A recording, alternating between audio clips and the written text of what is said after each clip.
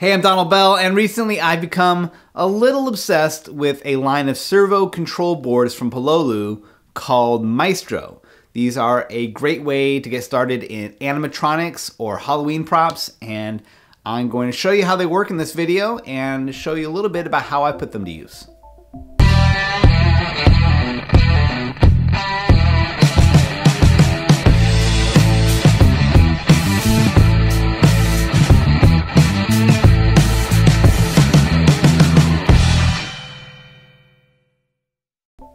Now, you can use practically any dirt cheap microcontroller board to make a servo move. It's like Arduino 101.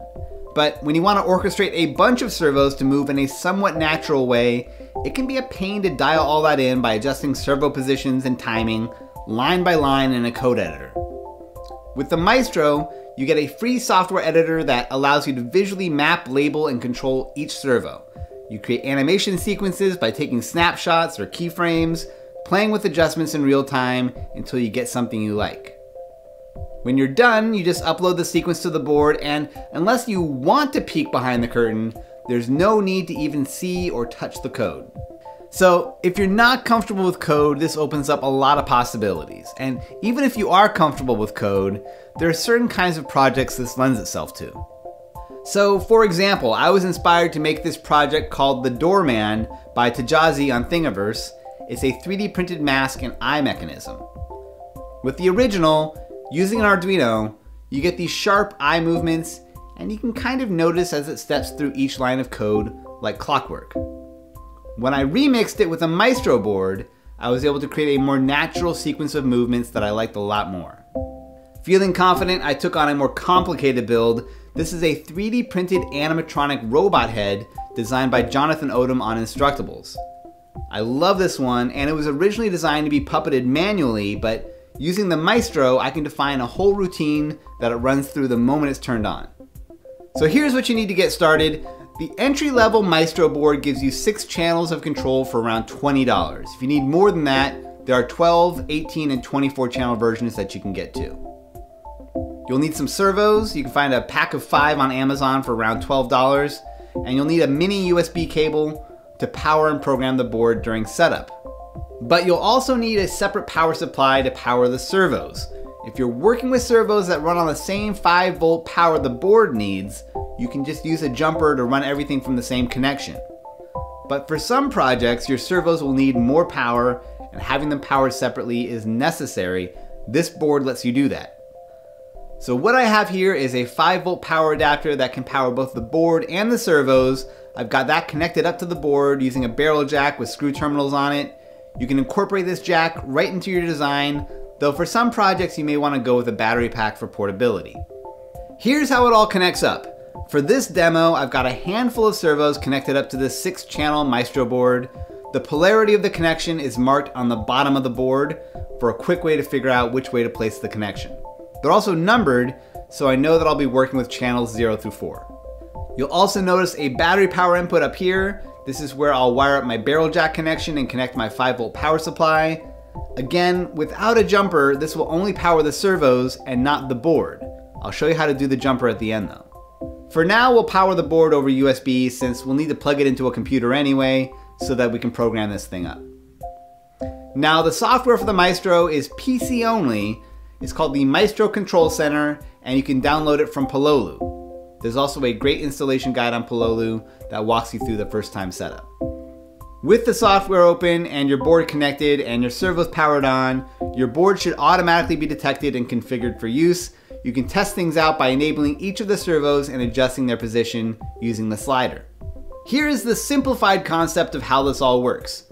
From the status tab, you use the sliders to position the servos just how you want them, then you hit the save frame button down in the corner, and now you move them to the next position you want, save the frame, and on and on until you think you have the sequence about right. Next, you jump over to the Sequence tab where you can play back that sequence you just made, add, delete, or adjust frames, tweak the timing, and set it to play in a loop if you want.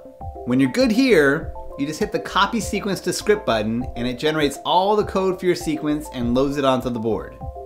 You can see this code in the Script tab where you can edit it directly. This tab also has a key checkbox here at the top, so that your sequence will start as soon as the board powers on. This is optional because you can also set things up so that the sequence will start when a button is pressed or a sensor is triggered.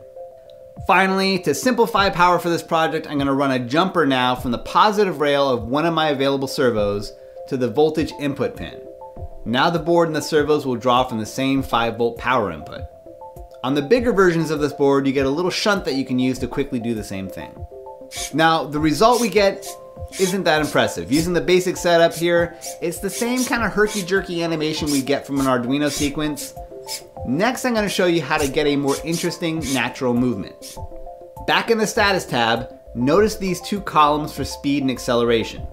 The speed setting determines how fast the servo moves from one position to the next. The acceleration setting creates a curve for how fast or slow the servo ramps up to the speed and ramps down to a stop. If that sounds a little confusing, just play with adjusting these values and notice how the blue dot of the servo's current position slows down or speeds up to meet the green dot of the target position. These little changes can have a big impact on creating realistic movement. Neck movements can be slow and smooth, eyelid movement can be fast and snappy, mouth movement can be jittery or simple, and all of these servo settings can be independent of one another. Once you have some settings you like, you plug them into the Channel Settings tab and hit Apply. In this same window, you can narrow the range of movement, define the servo startup position, you can add custom names for each channel, and even switch channels to act as a button input or sensor input or a PWM output for an LED. There's a lot you can do here, just remember to hit apply settings when you're done. After that, you'll script all the movements just like we did the first time around, only now each servo will have a personality all its own. And really, there's a lot more you can do with these boards. They can work over serial control from a computer or Raspberry Pi. You can make them more interactive with buttons and sensors. And there are scripts that you can find on Pololu that you can copy and paste into your code for more advanced control. So that's the magic of the Pololu Maestro boards in a nutshell. You can find a full write-up for this guide over on maker.pro with links to everything, okay? Thanks for watching, and I'll see you soon.